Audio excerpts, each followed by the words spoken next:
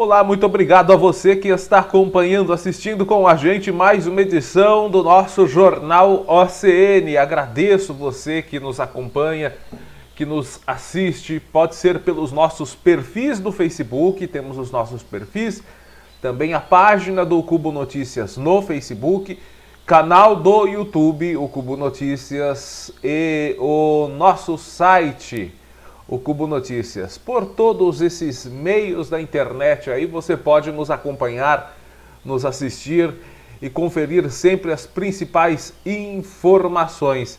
Claro que sempre dando destaque aí às notícias da nossa região, as notícias de Porangaba. Hoje o nosso jornal ACN trará muitas informações de Porangaba e cidades da região. Temos também aí os números para todo o Brasil do, dessa, dessa infeliz pandemia do coronavírus. E antes que eu me esqueça, agradecer e desejar todas as proteções divinas, bênçãos de Deus, saúde e prosperidades a todos que nos parabenizaram no último dia 10, portanto, anteontem pelo aniversário dos cinco anos do site O Cubo Notícias. Né? A todos que estão sempre nos acompanhando, é, fica aqui o nosso abraço. A cada um de vocês que, que acessaram nosso site, que, que leram nossas matérias ou que assistiram o nosso jornal ACN, também aos nossos colaboradores. Então, você que nos acompanha, e os nossos colaboradores são os responsáveis por esse, graças a Deus, sucesso no site Cubo Notícias e do jornal OCN. Um abraço carinhoso a cada um de, de vocês e um abraço carinhoso para aqueles que nos enviaram as felicitações pelo, pelo Facebook. Muito obrigado mesmo de coração por terem lembrado e nos parabenizado. Vamos iniciando o nosso jornal ACN, então, com notícias de Porangaba e região. Nós temos também notícias nacionais aí de, de interesse de toda a população. Hoje nós vamos falar, inclusive, sobre é, depósito do auxílio emergencial para as pessoas que, que estão inscritas para receberem. É, temos notícias aqui de toda a região. Eu vou começar já de imediato destacando os números nacionais dessa infeliz pandemia do Covid-19 em todo o mundo, né? Mas os números são os números nacionais e depois já emendo com os números aqui da nossa região. Para todo o Brasil, gente, nós temos até as 8 horas da manhã de hoje, de acordo com o consórcio de veículos de imprensa, que colhe informações a partir das secretarias estaduais de saúde, nós temos 103.118 mortes. 103.018 mortes até as 8 horas da manhã de hoje. O balanço de ontem teve uma atualização, hoje de manhã, de três estados: Amazonas, Piauí e Roraima. Vamos ver os números então consolidados até este momento. 103 mil e 118 mortes. Casos confirmados desde o começo da pandemia no Brasil: 3 milhões 114.287 confirmações de pessoas que contraíram o Covid-19. Né? Temos mais de 2 milhões e 200 mil pessoas já curadas, né? mas os números ainda de mortes e casos confirmados são muito altos. Ah, nós temos um grande número de, de curados. Temos um grande número de curados porque temos um grande número de, de pessoas que contraíram a doença, né? Eu vi uma deputada, Carla Zambelli, ah, tinha que ser. Ela é uma pessoa genial, né, Carla Zambelli. Falando, nossa, a imprensa não fala do, do número de curados. Nós temos um dos maiores números de curados no mundo né, deputada, genial. Temos o maior número de curados porque temos praticamente um dos maiores números de pessoas que contraíram a doença. Genialidade. Os números são altíssimos, são assustadores. E o problema é que o Brasil ainda mantém uma média elevadíssima. Não, não estamos tendo um crescimento, não estamos tendo elevação do pico, mas chegamos num platô, num nível de 1.000 a 1.200 mortes por dia. Ontem nós tivemos mais de 1.200 em 24 horas. E esse, esse nível, esse número elevado se mantém. O platô no qual o próprio Ministério da Saúde falava se mantém por um período muito alongado. Não chegamos num pico e tivemos um decline, ou um declive, aliás, como nos demais países. Os outros países, você pega os gráficos, você vê uma elevação de casos muito rápida, uma chegada num pico com um número assustador também, e rapidamente um número de queda, um declive nessa linha. Aqui no Brasil não, nós chegamos no número alto e a linha, o platô se mantém por mais de um mês e meio. É, é, é vergonhoso o que o Brasil está fazendo para para não combater essa pandemia. Enfim, vamos com os números da região, também subindo a cada vez que nós noticiamos aqui. Tatuí está com 1.387 confirmações e 41 mortes. Itapetininga, 781 casos com 35 mortes. Boituva, 547 com 16 mortes. Capão Bonito, 486 com 19 mortes. Tietê, 326 com 10 mortes. Itapeva, 277 com 6 mortes. Cerquilho, 264 com 11 mortes. Guareí, 240 com 2 mortes. São Miguel Arcanjo, 226 com 10 mortes. Angatuba, 219 com 4 mortes. Buri, 165 com 7 mortes. Pilar do Sul, 156 com 2 mortes. Itararé, 149 com 6 mortes. Tapiraí, 132 com 1 morte. Ribeirão Branco, 115 com 3 mortes. Campina do Monte Alegre, 86 casos com uma morte, Cesário Lange, 78 com 4 mortes, Ribeirão Grande, 72 com uma morte, Bernardino de Campos, 69 com 3 mortes, Guapiara, 69 com 7 mortes, Itaberá 67 com uma morte, Alambari 42 casos, Sarapuí 36 casos com uma morte, Jumirim 28 casos, Taquarivaí 16 casos, Timburi 10 mesmo número de Nova Campina, e Riversul tem nove, com uma morte, Quadra, seis casos, Bom Sucesso do Itararé, três, e o município de Óleo com um caso. Laranjal Paulista passou na frente de Avaré, está com 339 casos e cinco mortes. Laranjal Paulista passando na frente de Avaré, dentre os números do particionamento aqui da região de Avaré. 339 casos, com 5 óbitos. Avaré vem em segundo, com 327 e 13 mortes. Piraju, 179, com 4 mortes. Conchas, o Conchas, infelizmente, está no top 4 aqui na região de Avaré, com o número de casos. 145 casos, com 5 mortes. Além do número alto, para um município pequeno, taxa de mortalidade também alta. Itaporanga, 100 casos com duas mortes. Sequeira César, 99 com 5 mortes. Paranapanema, 86 com uma morte. Itaguaí, 85 com uma morte. Taquarituba, 74, 3 mortes. Itaí, 63 casos. Sarutaia, 50, 53 com duas mortes. Fartura também tem 53 casos com uma morte. Iaras, 39 com uma morte. Porangaba e Pereiras têm 28 casos, sendo que Pereiras contabiliza uma morte também. Porangaba não. Arandu, 25, com 3 mortes. Manduri, 22. Torre de Pedra, 14, com 2 mortes. Barão de Antonina, 13. Tejupá, 12 casos. Águas de Santa Bárbara, 8. E Coronel Macedo mantém aquele único caso que infelizmente evoluiu para óbito. Esses são os números da nossa região. Ontem eu estava vendo pelo Jornal Nacional só que hoje eu não vou me lembrar o nome do município.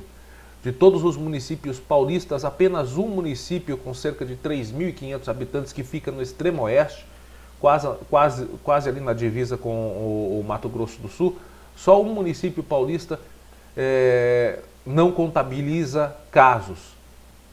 Só um. Foi contabilizado um caso, mas o morador daquele município já não reside mais ali no município, então é, o número dele não vai para conta daquela cidade. Mas só um município é, do estado de São Paulo, no extremo oeste do nosso estado, agora infelizmente não vou lembrar o nome, é que, é que não está com, com caso de Covid-19. Todos os outros contabilizam pelo menos um caso. Bom, gente, é... vamos rezar para que esses números diminuam, ou pelo menos se estabilizem. Porque do jeito que está, não sei não. Nós estamos aqui na nossa região, que pertencemos aí à DRS de Bauru e também na DRS de Sorocaba, nós entramos nesta segunda-feira, dia 10, foi feito o anúncio na sexta-feira, na fase amarela. Inclusive no noticiário local vou falar sobre isso. Entramos na fase amarela. É, e infelizmente estamos registrando aí aumentos de casos até no estado de São Paulo, que nos últimos sete dias contabilizou 86, 86 mortes a mais do que o período de sete dias anterior. Se nós tivermos aí, infelizmente, um aumento de casos que ultrapasse os 14% dos números anteriores, nós poderemos, infelizmente, esperamos, esperamos que não, mas nós poderemos aí regredir de fase, voltar de novo para laranja e Deus o livre, voltar até para vermelha.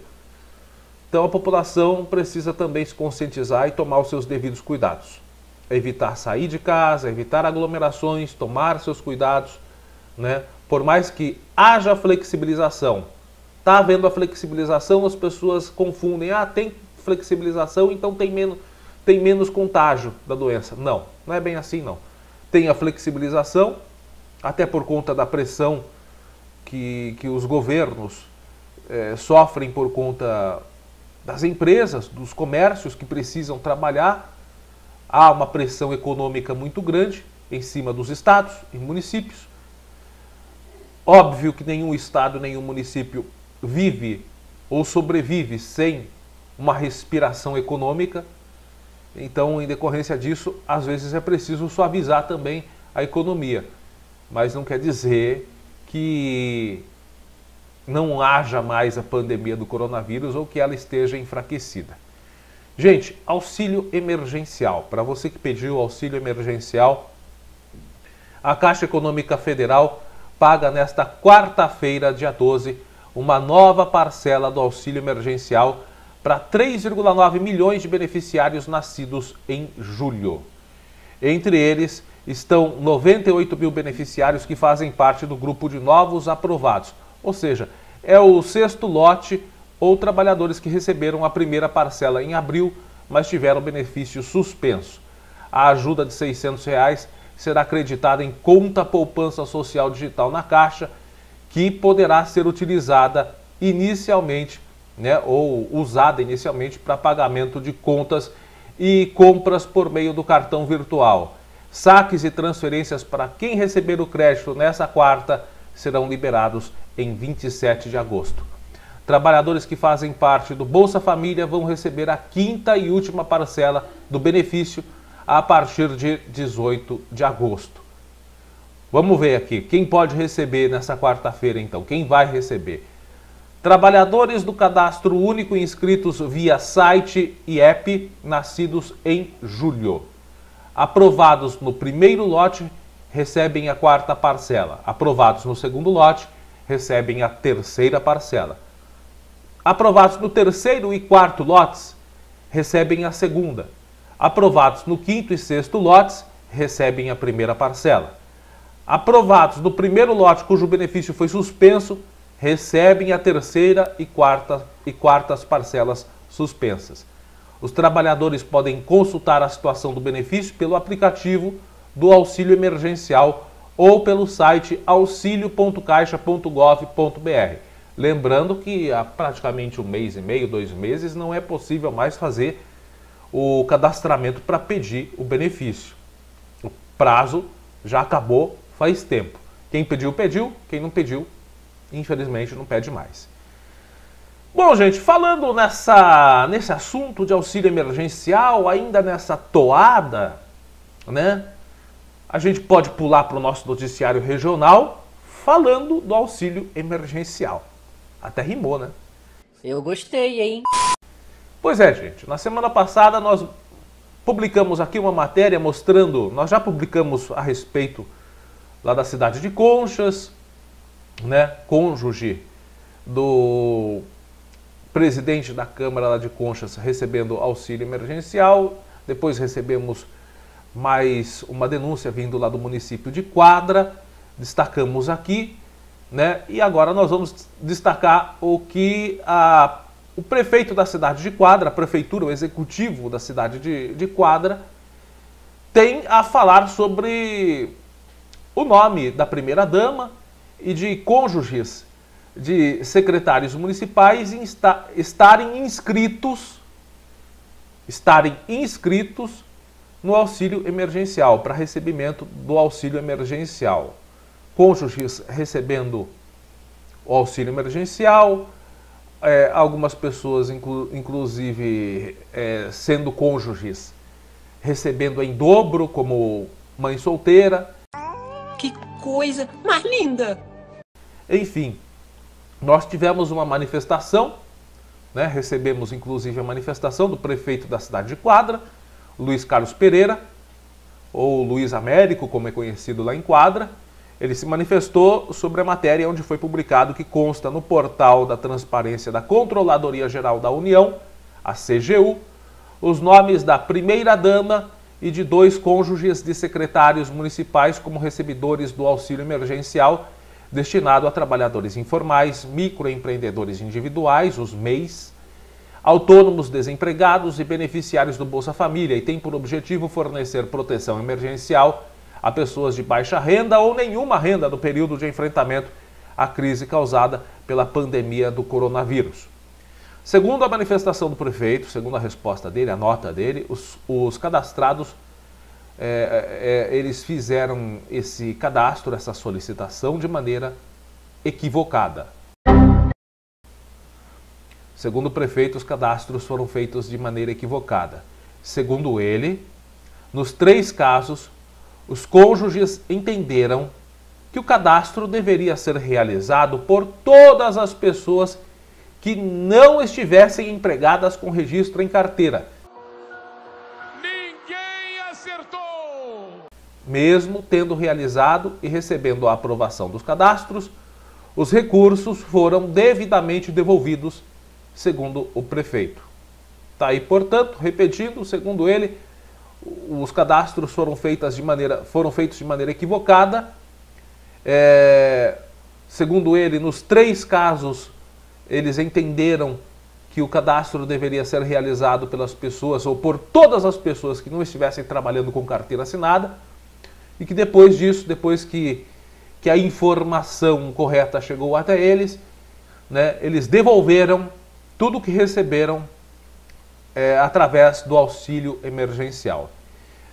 A prefeitura também de quadro, o executivo, também alegou que está atenta às atitudes desta natureza e que não tolera em nenhuma hipótese tais práticas.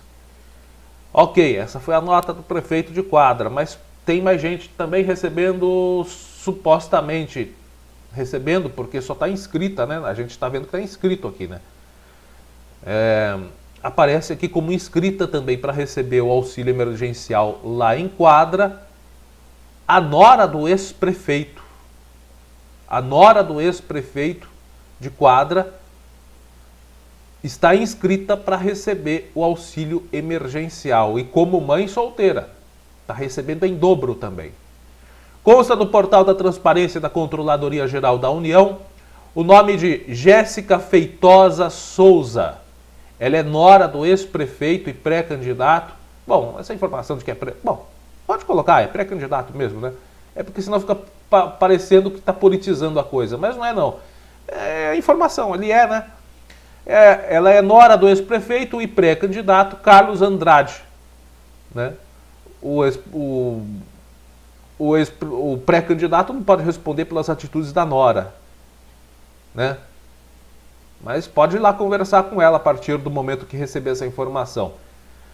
Pois é, a Jéssica Feitosa Souza, nora do ex-prefeito e, e, atual pré-candidato Carlos Andrade, ela está inscrita no portal da transparência da Controladoria Geral da União para receber o auxílio emergencial, como eu disse, destinado a trabalhadores informais, a microempreendedores individuais, os MEIs, autônomos, desempregados, beneficiários do Bolsa Família. O objetivo é socorrer essas pessoas com baixa ou nenhuma renda durante esse período da pandemia. Vale destacar o seguinte: a Jéssica Feitosa de Souza, ou Jéssica Feitosa Souza, ela está inscrita como MEI. Ela está inscrita como micro, microempreendedor individual. Isso daria a ela o recebimento do auxílio. A Jéssica recebe, porém, R$ 1.200 por parcela, segundo consta, isso segundo consta lá no, no portal da Controladoria Geral da União. Ela recebe R$ 1.200. Esse valor, porém, é destinado a mulheres que mantêm os seus lares sozinhas, ou seja, mães solteiras. Só que ela vive uma união estável com o filho do ex-prefeito, que é o Tiago Andrade de Oliveira. Nas redes sociais, inclusive, ela coloca, ela assina nas redes sociais apenas como Jéssica Souza, ela não coloca Jéssica Feitosa Souza, mas nas redes sociais, Jéssica Souza, ela mantinha a informação de que estava em união civil, o que pelas regras não lhe daria direito ao recebimento do valor destinado a mães solteiras. Pode, pode, pode. Pois bem, gente, tudo isso tem que ser checado.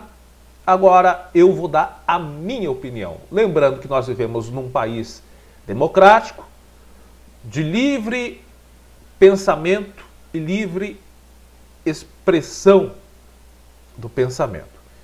Não sei qual vai ser a alegação dessa moça aí, a Jéssica Feitosa de Souza. Já, já vi a, a alegação do prefeito, falando inclusive em nome dos dos secretários, né, que tiveram seus companheiros respectivamente citados aí. Mas vamos analisar comigo. Eu vou colocar aqui como era a tela de inscrição do auxílio emergencial. Era assim, ó. É, quando você ia fazer a inscrição, você preenchia lá o, o, o seu cadastro, você entrava com o seu CPF e o seu nome, é, dizia que estava pedindo, e vinha uma tela explicativa dizendo o que você não poderia fazer e o que você poderia ter para acessar o, o pedido do auxílio. Então você não poderia ter ajudas assistenciais do governo, com exceção do programa de transferência de renda federal, que é o Bolsa Família. É, programa assistencial, seguro-desemprego, não poderia. Para quem recebe qualquer outro programa. Para quem recebe o programa Bolsa Família, isso não é impedimento. Inclusive, quem recebia o Bolsa Família deveria solicitar e, e tinha a opção, né? Tinha a opção, ou recebe a quantia do Bolsa Família ou recebe a quantia do auxílio emergencial. É, então, tá aqui, ó. Quem recebe assistencialismo do governo ou qualquer outro tipo de assistencialismo não poderia, seguro seguro desemprego é um desses desses desses assistencialismos aí que não podia, não poderia, quem já tá quem já estava recebendo. E embaixo é, consta, consta consta o que a pessoa tinha que, que ter de critério para solicitar também. É, renda familiar mensal minha renda familiar mensal é até R$ 522,50 por pessoa ou até R$ 3.135 em renda familiar total. Também para solicitar, não poderia receber rendimentos tributáveis no ano de 2018 acima de R$ 28.559,70. Também para solicitar, deveria exercer atividades em uma das seguintes condições: ser MEI, micro, microempreendedor individual, contribuinte individual ou facultativo do regime geral da Previdência Social, ou um trabalhador informal, sem nenhum tipo de contribuição. Aí abaixo, aí é que eu quero chegar. Logo abaixo, tem duas opções que você marcava ali. E quando se chega nessas duas opções, eu pessoalmente sou obrigado a pensar de que não tem como preencher o cadastro equivocadamente. Porque você marca ali o seguinte: declaro que li e tenho ciência que me enquadro em todas as condições acima. Não basta ser MEI. Se é MEI e recebe mais do que R$ 522,50 por pessoa, ou tem renda familiar acima de 3.335, já não pode. Se é MEI e teve rendimento tributável dentro da, dentro da família ou individualmente acima de R$ 28.559, também não pode. Se é MEI e recebe seguro-desemprego ou, ou qualquer outra ajuda assistencial que não seja Bolsa Família, também não pode. Aí tem outra setinha lá para você marcar também. Autorizo o acesso e uso dos meus dados para validar as informações acima. Essa é a primeira tela. Depois vem mais uma tela que envia um código para o seu celular, você coloca esse código recebido ali, vai para outra tela. Quanto você ganhava em média por mês? Sou rica! Eu sou rica! Você tem que clicar na setinha ali e escolher a opção de quanto você ganha. De quanto você ganhava na época, porque agora não tem mais essa tela de preenchimento, você não pode mais solicitar.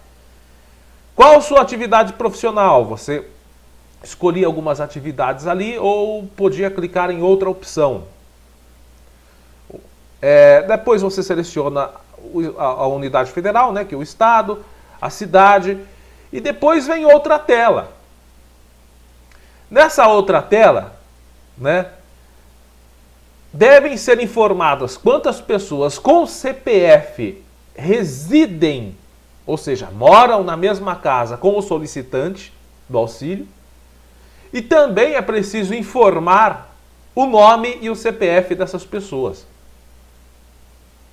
O que eu também fico pensando, será que o nome e o CPF desses cônjuges foram informados?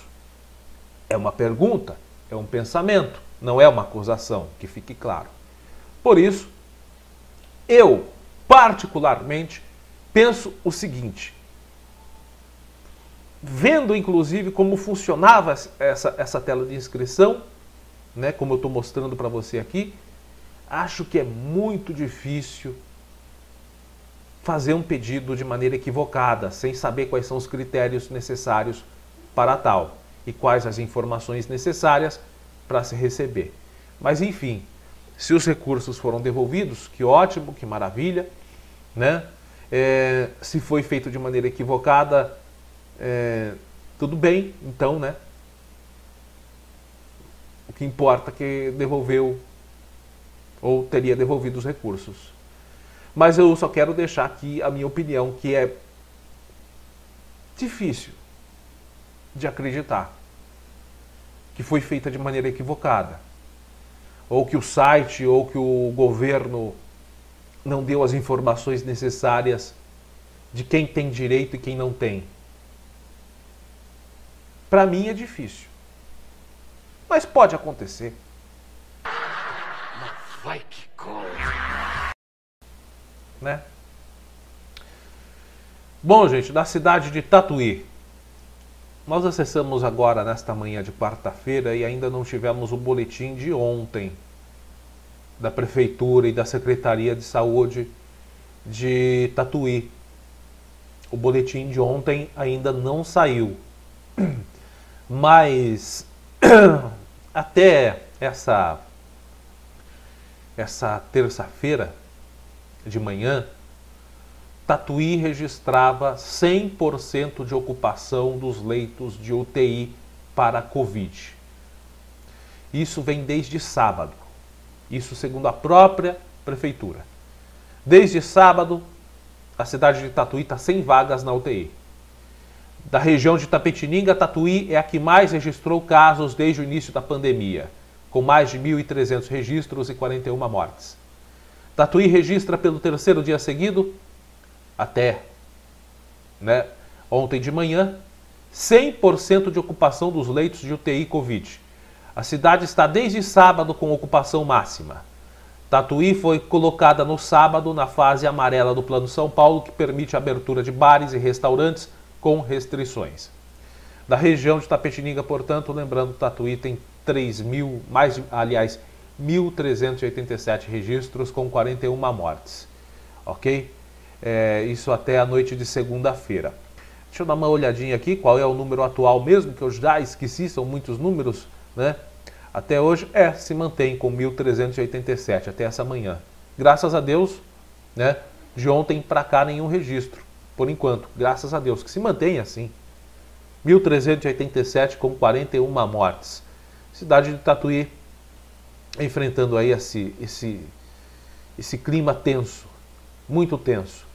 Sábado, leitos clínicos, 27% de ocupação, UTI 100%. Domingo também, 27% dos leitos clínicos com UTI a 100%. E na segunda-feira já tinha leitos clínicos com mais ocupação ainda, 36% com UTI lotada a 100%. Estão internados na Santa Casa de Misericórdia 19 pacientes, destes 11 estão na UTI. Nove deles testaram positivo para a doença, dois são suspeitos. No isolamento com quadro estável ou com quadros estáveis estão oito pacientes, sendo eles cinco positivos e três suspeitos, aguardando o resultado dos testes. No hospital particular de Tatuí estão internados quatro pacientes, sendo dois que testaram positivo que estão na UTI do hospital particular. Já no isolamento, tem dois pacientes com a suspeita da doença, mas com quadros estáveis portanto, esses pacientes. É, gente, é, Tatuí vivendo um momento muito tenso nessa, nessa pandemia, UTI lotada, muitos casos surgindo, ainda bem que nas últimas 24 horas até o momento não teve alteração nos números. E ontem foi dia 11 de agosto, Tatuí comemorou seus 194 anos. Num clima de cidade deserta, a cidade de Tatuí completamente deserta durante o dia, que de certa maneira é triste, mas é bom, porque o isolamento se faz necessário nesse momento.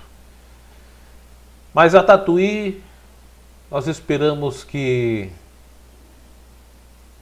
esse momento passe logo, que essas dificuldades sejam superadas. Parabéns a Tatuí e a todos que nos assistem lá da cidade de Tatuí, né? Cidade de Tatuí fazendo 194 anos. Parabéns, Tatuí. Superação e força é o que desejamos a Tatuí nesses 194 anos. Desejamos a todos os municípios brasileiros, né?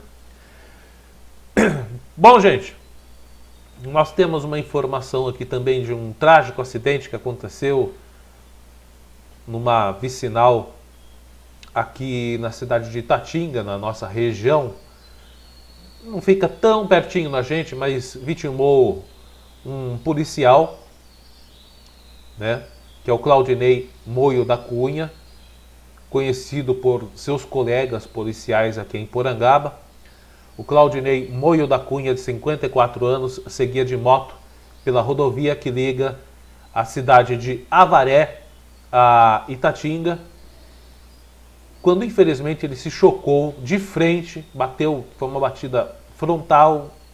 Essas são as imagens do, do pós-acidente, né?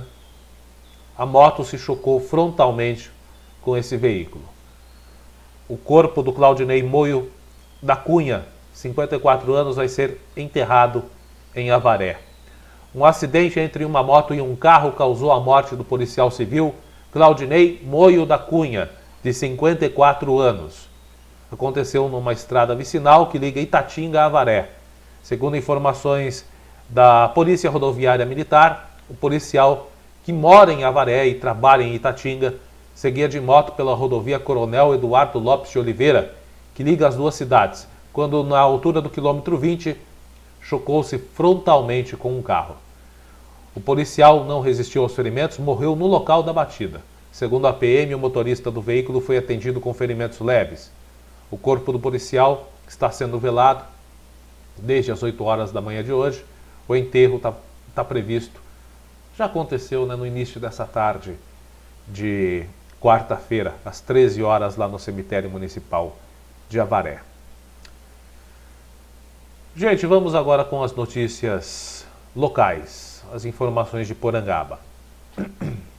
Bom, lembrando você que é pai, mãe, responsável por um aluno da rede municipal de ensino, que a Secretaria de Educação aqui de Porangaba já está fazendo a entrega do segundo lote do kit alimentação escolar para alunos matriculados na rede municipal de ensino. As aulas estão suspensas desde o final de março em decorrência da Covid-19. As entregas dos kits estão sendo feitas hoje, dia 12. Aliás, já passou o período que, que foi feita a entrega hoje, porque é das 9 ao meio-dia. Né? Das 9 ao meio-dia. Então já passou, mas vai ter a entrega amanhã, dia 13, e depois de amanhã, dia 14. Ou seja, entregas dias 12, 13 e 14 de agosto. O horário, das 9 da manhã ao meio-dia. Das 9 da manhã ao meio-dia. Lá na EMEIF Vilma dos Reis Correia, na rua Lazinho Nunes da Silva, 505B, Vista Alegre. Lembrando o seguinte, gente, para alunos é, matriculados nos primeiros anos do ensino municipal, esses alunos devem retirar, os responsáveis, na realidade, devem retirar os seus kits na escola Joaquim Francisco de Miranda. Ou seja, se o seu filho, filha, é, a criança pela qual você é responsável está matriculada lá no grupo, no Joaquim Francisco, é lá a retirada. Agora, se ele está na EMEIF, Vilma dos Reis Correia, ou na, ou na creche Guilherme Bertin, é, a retirada vai acontecer lá na, na EMEIF Vilma dos Reis Correia. Tá bom? É, a Secretaria de Educação também está lembrando, gente, o seguinte: é, que neste mês serão entregues dois kits, dois kits aos alunos matriculados. Por que dois kits, Wellington? São referentes a dois meses, aos meses de junho e julho. Aos meses de junho e julho, sendo que a primeira entrega, que aconteceu mês passado, foi referente ao mês de maio. Maravilha? Pois bem, gente, é, falando em pandemia, os comerciantes aqui de Porangaba estão em dúvida numa dúvida muito grande. O que fazer nessa fase amarela? Ah, mas por que a dúvida? É... Como é que vai ficar? Vai seguir o, a fase amarela do governo do estado de São Paulo, a risca? Ou Porangaba vai, vai manter uma flexibilização maior do que a fase amarela? As duas coisas. Sim, porque Porangaba mantém uma flexibilização maior do que na fase amarela. Por exemplo, tem academia funcionando na fase amarela, já tinha até na fase laranja. Mas o problema é o seguinte: ah, o município tem autonomia para fazer uma, uma, flexibilização. Tá, tem, mas tem que fazer em decreto. O problema é que sempre se consta dos decretos, quando é feita a atualização do Plano São Paulo, Sempre se consta o seguinte: a prefeitura faz um decreto dizendo que vai seguir o que o Estado determina em suas respectivas fases do Plano São Paulo. Só que em muitos casos a flexibilização aqui em Porangaba é superior a isso. É maior do que do que está no, tá no, no Plano São Paulo. Como eu citei o exemplo aí da academia. Mas tem vários outros. Né? É, ah, você é contra a flexibilização? É, acho precipitado. Mas também entendo que, como não se combateu eficientemente lá no começo, isso eu falo por causa do Ministério da Saúde, como não fez um combate em todo o Brasil eficiente, se prolongou essa pandemia por um tempo em que. Enfim, o governo conseguiu, o governo federal conseguiu deixar os brasileiros entre a cruz e a espada, né? Eles conseguiram. E fazendo um trabalho que o regime militar não fez. Matamos 30 mil. Parece que era isso que eles queriam e conseguiram. Então as pessoas precisam, o comércio precisa sobreviver, a empresa precisa sobreviver. É, o que eu penso é o seguinte: pode flexibilizar então? Quer fazer a flexibilização? Vamos fazer a flexibilização. Mas vamos colocar isso no decreto para todas as pessoas entenderem. Porque o decreto diz uma coisa e na prática é outra. Nós acessamos o, o, o Diário Oficial de Porangaba, o, o Diário Oficial Digital, que está lá no site da Prefeitura, para saber qual decreto a Prefeitura tinha, tinha feito a respeito dessa flexibilização para a nova fase amarela. E o único decreto que tem lá, nesse sentido, é o decreto 68-2020, você está vendo aqui, que dispõe sobre prorrogar suspensão do atendimento presencial no âmbito da administração pública em decorrência do estado emergencial da pandemia do Covid-19 e da outras providências. Aí diz aqui, prefeito Luiz Carlos Vieira Sobrinho, no uso de suas atribuições legais, né, considerando o disposto na lei federal, tal, tal, tal, daí vem as considerações. E, por fim, o decreto. Artigo 1. Fica prorrogado os efeitos do decreto municipal 65-2020 mantendo-se a suspensão do atendimento presencial no âmbito da administração pública, ou seja, a administração pública não está fazendo o atendimento presencial ou não estará até o dia 23 deste mês. Artigo 2 suspensão a que se refere o artigo 1 deste decreto, como se aplica à Secretaria Municipal de Saúde, a Secretaria de Obras, bem como os demais serviços considerados de natureza essencial.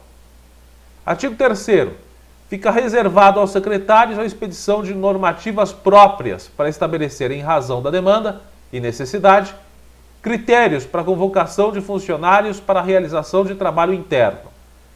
Artigo 4 Os atos e prazos da administração pública ficam suspensos até o dia 23 de agosto.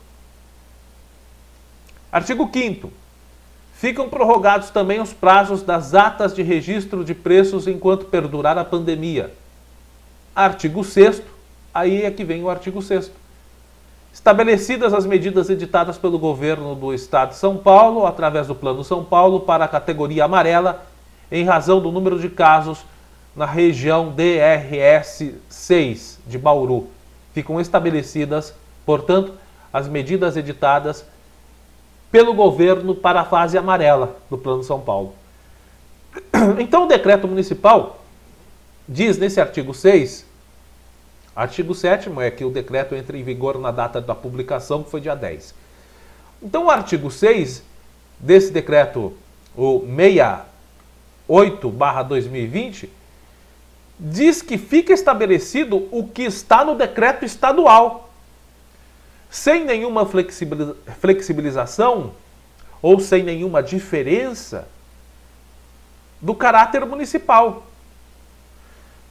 Então, vamos seguir aquele exemplo da academia.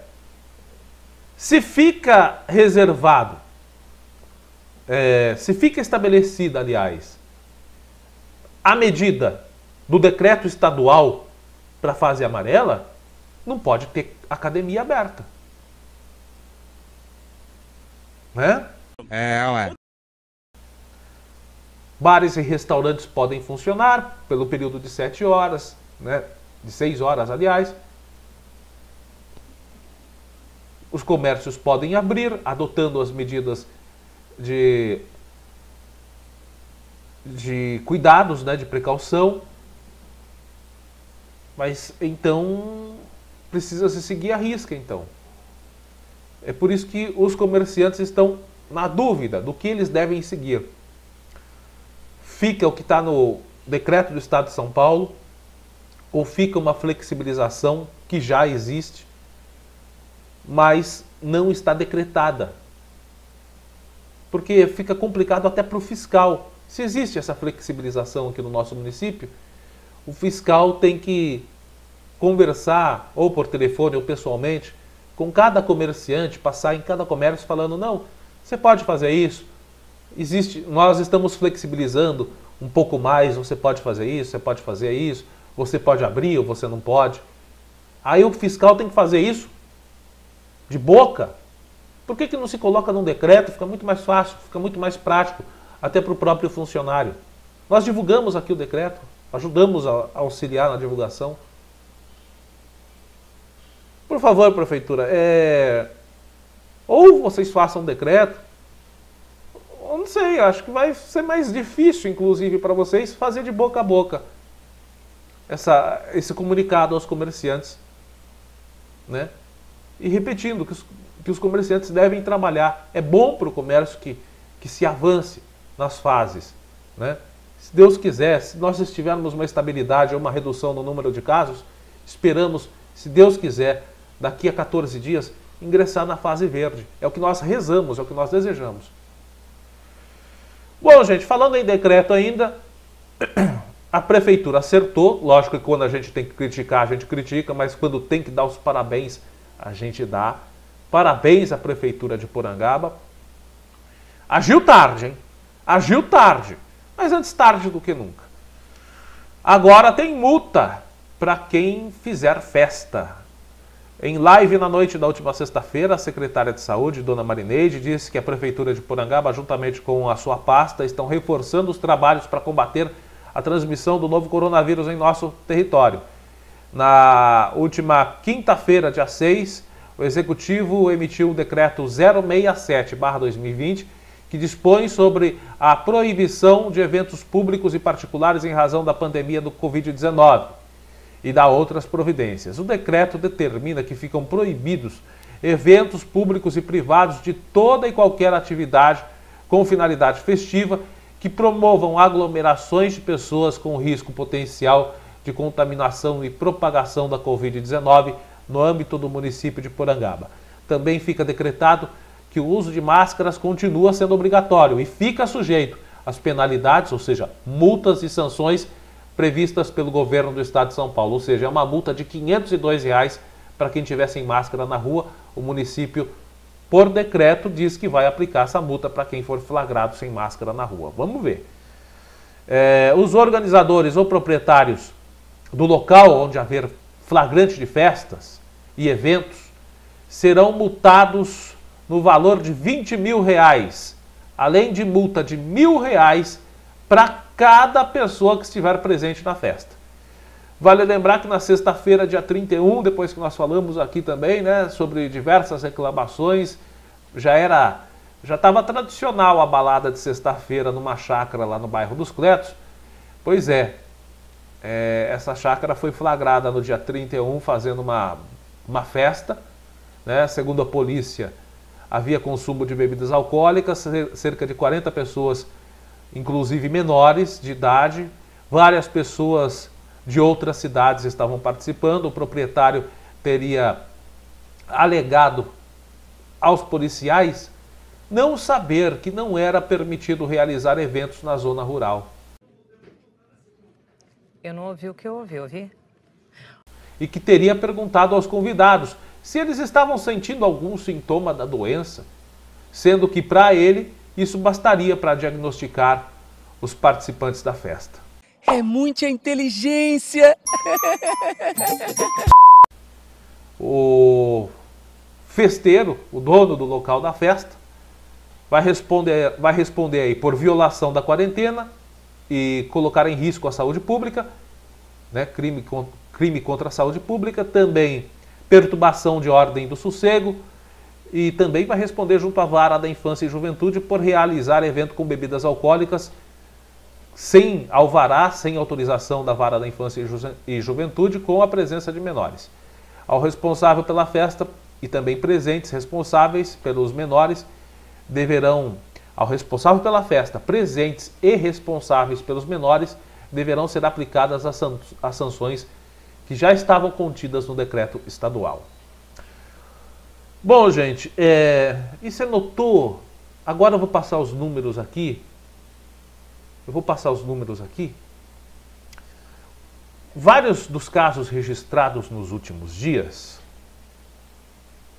das últimas atualizações de casos novos do Covid-19, eram de pessoas jovens aqui em Porangaba. Nós chegamos no dia 4 a 28, a 28 casos confirmados, segundo o boletim da prefeitura, como você está vendo aí. No dia 4, nós chegamos a 28. É, sendo que um período aí de duas, três semanas, duas semanas, duas semanas e meia, deu uma subidinha leve a curva de contágio aqui em Porangaba. Graças a Deus, leve. Não foi um número extraordinariamente gigantesco, um pico. Mas demos uma subidinha leve. Depois que acabou essa festa, essa interferência que houve, Porangaba, até o momento, segundo os números da prefeitura, né, continua com o mesmo número de casos que eram o número do dia 4. Pelo menos até o momento, a prefeitura não fez uma nova atualização, a secretaria também não. Né? Até o momento não houve aí alteração nos números.